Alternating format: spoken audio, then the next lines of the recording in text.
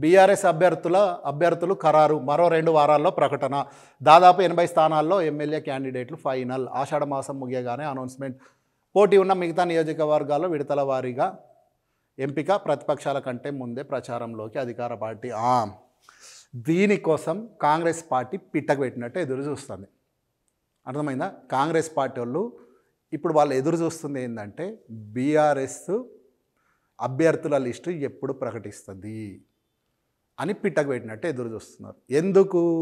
అంటే ఇప్పుడు ఈ దబ్ దగ్గర దగ్గర ఎనభై స్థానాలల్లా రేపు ఇంకో రెండు వారాలల్లా సీఎం కేసీఆర్ అభ్యర్థులను ప్రకటించిన తర్వాత ఏమవుతుంది ఆల్రెడీ ప్రతి నాయకుడు బీఆర్ఎస్లో చేరి ఉన్నాడు. సీట్ కోసం కొంతమంది అసంతృప్తితోనే ఉంటారు. ఆ అసంతృప్తితో ఎవరైతే ఉన్నారో వాళ్ళు కాంగ్రెస్కు పోతారు. ఆ వాళ్ళ కోసం ఈ లిస్ట్ కోసం మీదికి ఎన్ని క్రియేట్ చేస్తున్నా ఎదురు చూస్తుంది ఈ లిస్టే. ఇప్పుడు కేసీఆర్ కూడా వాళ్ళకు సవాల్ విసురుకుంటా రెండు వారాలలో ప్రకటిస్తున్నాడు. వీళ్ళకు అన్నిటికీ పెద్ద పెద్ద మాటలు మాట్లాడుతున్న కాంగ్రెస్ నిజంగా దమ్ముంటే ఇవాళ బీఆర్ఎస్కు ముందు మీ అభ్యర్థుల ప్రకటన విడుదల చేయాలి. చేస్తారా? చేస్తేనే మీరు గెలిచినట్టు తెలంగాణలో బీఆర్ఎస్ కన్నా ముందు మీ అభ్యర్థుల లిస్టు ప్రకటిస్తేనే కాంగ్రెస్ గెలిచినట్టు. నిజంగా గెలిచే పార్టీలా ఈ పరిస్థితి ఉంటుందా? ఇంకో పార్టీ నుంచి వచ్చిన వాళ్ళను తీసుకొని అభ్యర్థులుగా ఖరారు చేసుకునే పరిస్థితి ఉంటుందా? ఇగో గెలుస్తామని నమ్మకం ఉంది. ఎస్ మా లిస్ట్ ప్రకటిస్తున్నాం. రెండు వారాలలో అని చెప్పి ఎనభై మందితోని లిస్ట్ ప్రకటించబోతుంది. మరి మీరేం ప్రకటిస్తారు? వీళ్ళ కోసం ఎదురు చూస్తున్నారు. వీళ్ళ కోసం ఎదురు చూస్తున్నారు. ఆ బీజేపీ వాళ్ళు ఎదురు చూస్తుంది. ఇదే ఇగో ఈ ముచ్చట కోసమే కాంగ్రెస్ వాళ్ళు ఎదురు చూస్తుంది. ఇదే ముచ్చట కోసం. చూస్తే కనబడతలేదు. మొత్తం రేవంత్ రెడ్డి ఏం చేస్తున్నాడు? బా బా బా బాబా అని బతిమలాడుకుంటలేడు. మా పార్టీలకు రండి రండి రండి. నిజంగా ఒక ముచ్చట. వీళ్ళు ఈ పార్టీ గెలవది అనుకుంటే కాంగ్రెస్లకు మొత్తం చేరికలు చేరిపోకపోతుండే. ఆ పొంగులేటి ఆ జూపెల్లి అనేటైనా కూడా ఎన్ని రోజులకు చేరిరు ఏం చేసి చేరిరు ఆరు నెలలు అయిన తర్వాత అప్పటికే అది కాంగ్రెస్ వాళ్ళకి ఫస్ట్ ఆప్షన్ కాదు. అన్నీ చూసుకొని ఇక దిక్కు లేదు ఏదో ఒక పార్టీలో పోటీ చేయాలని చెప్పి పోయిరు మరి గెలిచే పార్టీనే మొత్తం ధూమ్ ధామ్ అంటున్నారు మరి ఇందులో నుంచి. ఎందుకో ఎవరు పోతలేరు. ఇప్పటికి కూడా చాలామందికి నిజంగా బీఆర్ఎస్లో కూడా చాలామందికి టికెట్లు రావని తెలిసిన వాళ్ళు ఉన్నారు. అయినా కూడా పోతలేరు. ఎందుకు తెలుసా?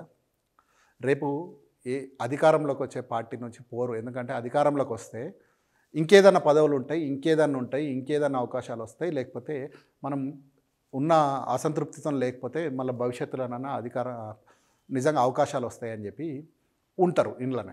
ఇండ్ల నుంచి పోరు. కానీ నిజంగా కాంగ్రెసే అధికారంలోకి వస్తుంది అనుకుంటే ఇప్పుడు ఇది రాదు ఈ పార్టీ అనుకుంటే ఇందులోంచి మొత్తం ఇప్పటికే పోయేటోళ్ళు కదా. ఎందుకంటే సీటు ఇవ్వకపోయినా పోతారు. ఎందుకు తెలుసా? సేమ్ అధికారంలోకి వస్తే ఒకవేళ సీటీ ఇవ్వకపోయినా ఇంకేదన్నా ఎమ్మెల్సీ ఇంకేదన్నా కార్పొరేషన్ చైర్మన్ పదవిలో ఇంకేదో ఇంకేదో ఉంటాయని చెప్పి పోతారు. మరి ఇప్పటిదాకా కూడా ఎందుకు పోతలేరు కాంగ్రెస్లోకి? బతిమలాడుకొని బతిమలాడుకొని కాంగ్రెస్ ఓ అయిపోయింది అయిపోయింది అని చెప్పి రాహుల్ గాంధీ వచ్చి ఇంకేదో ప్రకటనలు చేసి ప్రియాంక గాంధీ వస్తుందని చెప్పి ఇప్పుడు పొంగులేటి పోయి ఇవన్నీ జరిగిన తర్వాత కూడా ఒక్కలంటే ఒక్కరు ఎందుకు చేరతలేరు? ఇంకా బీఆర్ఎస్లోనే ఇవాళ కాంగ్రెస్ నేత ఎందుకు చేరేయండు ఇది ఒక్కటి తెలిసిపోతలేదు. నిజంగా మీకు దమ్ముంటే ఈ పని చేయాలి. బీఆర్ఎస్ నుంచి వచ్చిన వాళ్ళకి కాకుండా మీ కాంగ్రెస్ పార్టీలో నూట పంతొమ్మిది మందికి టికెట్లు ఇచ్చే సీన్ ఉందా? పోనీ ఒక యాభై మంది కన్నా ఇవ్వగలుగుతారా వీళ్ళకన్నా ముందు లిస్టు ప్రకటిస్తారా? ఒకటో లిస్టు రెండో లిస్టు మూడో లిస్టు ఏదన్నా ప్రకటిస్తారా? ఎందుకు ఇంత హంగామా క్రియేట్ చేస్తున్నారు అనేది ఇగో దీంతో తేలిపోతుంది మరి. వీళ్ళ అభ్యర్థుల లిస్టు ఎనభై మందికి దగ్గర దగ్గర ఫైనల్ చేస్తారట. ఇంకా మిగతా వాళ్ళకు కూడా అక్కడక్కడ ఇద్దరు ముగ్గురు వాళ్ళు ఇదివరకు ఈ పార్టీలు ఉంటేనే బాగుంటుందని చెప్పి ఇప్పుడు ఏమైందంటే నిజానికి బీఆర్ఎస్లో సమస్య ఏంటంటే ఒక్కొక్క చోట ముగ్గురు నలుగురు ఉన్నారు. ఎట్లా అకామిడేట్ చేయాలనో అర్థం కాని పరిస్థితులు ఉన్నారు. వాళ్ళే ఇప్పుడు అటు పోతారు ఎవరైనా సీట్ రాకపోతే వాళ్ళకే వీళ్ళు సీట్లు ఇచ్చుకుంటారు. అంటే బీఆర్ఎస్ గెలవడు అని చెప్పి ఇయ్యలేని పరిస్థితి ఉన్న వాళ్ళని తీసుకుపోయి కాంగ్రెస్ అధికారంలోకి వచ్చేస్తుందా? అదొక్కటి అర్థం చేసుకోవాలి ఇక. ప్రతిపక్షాల కంటే ముందే ప్రచారంలోకి అధికార పార్టీ. ఇక ఈ విషయంలో చూస్తే కేసీఆర్ ఎప్పుడో రేస్ ప్రారంభించేసిండు. ఎప్పటి నుంచో ఆయన పది కిలోమీటర్ల దూరంలో ఉన్నాడు. వీళ్ళు ఇంకా అభ్యర్థులు చేరికలు వాళ్ళని తీసుకున్నాడు వీళ్ళని తీసుకున్నాడు ఆ ముచ్చట్లనే ఉన్నారు.